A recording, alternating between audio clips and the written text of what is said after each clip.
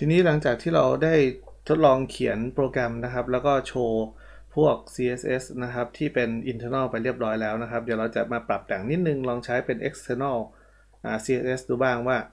เราจะเขียนยังไงนะครับ ทีนี้เมื่อกี้อาจารย์ยังคาใจไอ้ตัวด้านบนนี้นะครับ ตัวด้านบนนี้มันตัวอักษรไม่สวยเลยอาจารย์ทดลองดูเปลี่ยนตัวนี้นะครับจาก tr ตรงนี้จาก t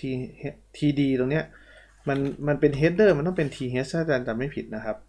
เป็น th ฉะนั้นอาจารย์ก็จะเปลี่ยนตัวนี้เป็น th นะครับ แล้วลองเซฟดูนะ แล้วลองกด refresh อีกครั้งหนึ่งอ่าใช่ครับ มันจะเป็นมันมาอยู่ตรงกลาง พอเป็น header มันมันจะมาอยู่ตรงกลางแบบนี้ ฉะนั้นอาจารย์ขอเปลี่ยนตัวนี้เป็น th นะครับ th แล้วก็ด้านหลังก็เปลี่ยนเป็น th ด้วยเช่นกัน แบบนี้ครับ เซฟ แล้วกด refresh ครับ แบบนี้ อ่า ทีนี้ โอเค แล้วเรามาเล่นอะไรต่อ เราจะมาเล่นตัว external css กัน ทำยังไงดี เอ่อ อาจารย์รู้สึกว่าตัวอักษรมันไม่สวยนะครับ อาจารย์มีตัวอักษรสวยๆในอินเทอร์เน็ตนะครับ ลอง search ดูคำว่าฟอนต์นะครับ Google Google เขาจะมีฟอนต์ให้เราดาวน์โหลด หรือว่าให้เราเอามาใช้ในเว็บไซต์ของเราเยอะแยะเลยนะครับ เราลองคลิกเข้าไปที่ Google Font หรือว่าตรงนี้ที่เป็นภาษาไทยนะครับ เราเลือกที่ไทยตรงนี้ก็ได้ครับ เสร็จปุ๊บนี่ มันจะมีฟอนต์ที่เราพอจะเอามาใช้ได้หลายตัว สมมุติว่าอาจารย์เอาฟอนต์ตัวแรกเลย ฟอนต์ที่ชื่อว่า Kanit Kanit ตัวนี้ Kanit นะครับ อาจารย์จะเอาฟอนต์ตัวนี้มาใช้เราจะใช้ยังไงนะครับ เรากดบวกครับ กดบวกปุ๊บ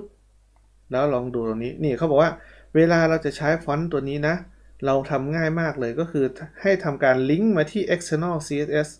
ของ Google นะครับ ลิงก์ไปที่ CSS ของ Google ตัวนี้นะครับ เราก็ลิงก์ไปครับ เรา copy เลย ตอนนี้เรา copy คลิกขวา copy ปุ๊บนะครับ เอามาใส่ในตัว head ของเรานะครับ enter ลงมาครับปุ๊บมันก็จะยาวๆหน่อยเนาะมันจะยาวๆหน่อยไม่เป็นไรอาจารย์ก็วางลงมาแล้วเรียบร้อยนะครับ ทีนี้พอเราวางลงมาปุ๊บเวลาเราจะใช้เราจะใช้ยังไงนะครับ เราจะใช้ยังไงเขาก็บอกว่าถ้าคุณจะใช้เนี่ยให้คุณสร้างฟอนต์นะครับ สร้างตัวตัวเขาเรียกว่า CSS class ของคุณเนี่ยนะครับ ให้ตามนี้นะครับก็คือฟอนต์ primary ชื่อว่าคณิตแบบนี้นะครับ ฉะนั้นอาจารย์จะใช้ สร้างคลาสขึ้นมาตัวหนึ่งครับ ชื่อว่าฟอนต์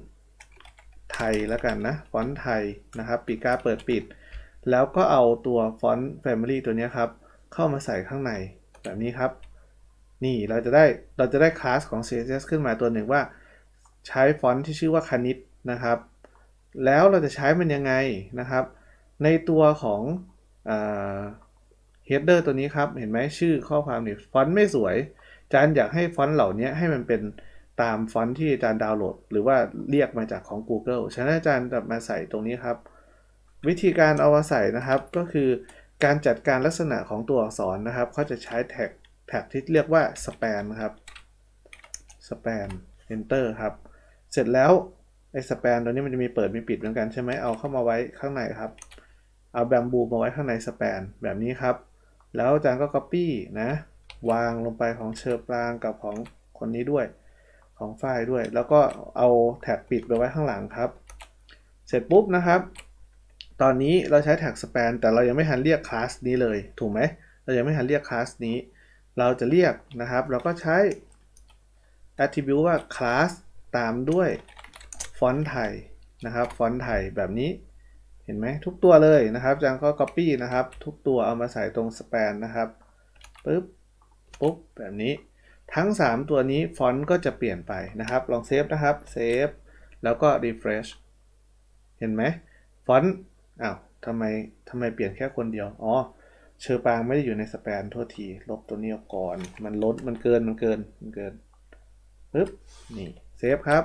แล้วกด refresh อีกครั้งหนึ่งเห็นไหมครับ ทั้ง 3 คนฟอนต์จะเปลี่ยนไปเห็นไหมตัวนี้นะครับเป็นลักษณะของการใช้ CSS ที่มาจากภายนอก อันนี้มาจากภายนอกคือมาจากไหนมาจาก Google นู่นเลยครับ เขามีฟอนต์ประเภทนี้หน้าตาเป็นแบบนี้ เราเรียกฟอนต์ตัวนี้เข้ามา เรียก CSS ตัวนี้เข้ามาใช้นะครับ แล้วเราก็กำหนดตัวคลาสอะไรต่างๆ ที่เราต้องการตามที่เขากำหนด แล้วเราก็สามารถเรียกใช้ได้ อันนี้คือการใช้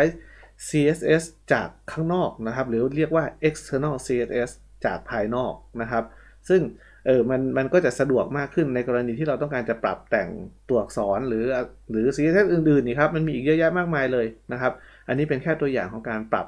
แต่ตัวอักษรในตัวเว็บไซต์ของเรานะครับ